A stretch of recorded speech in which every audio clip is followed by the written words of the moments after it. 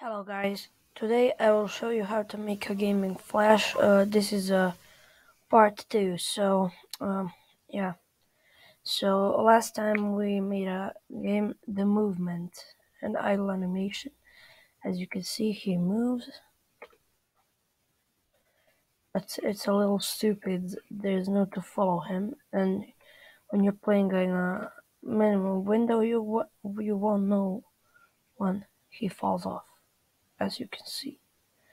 So we're gonna fix that. I'm gonna um, I'm gonna open a vcam file, which is yo v vcam file.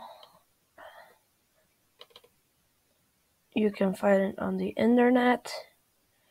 So you click copy, go to the ground layer, click paste in place. And now go to character layer, click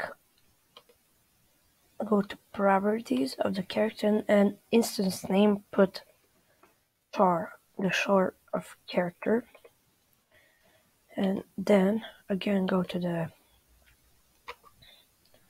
go to the vcam and Go actions.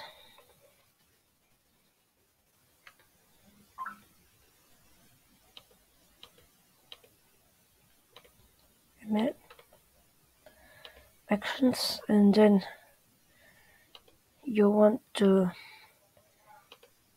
paste in the code. You want to paste the code in. And click Control plus Enter.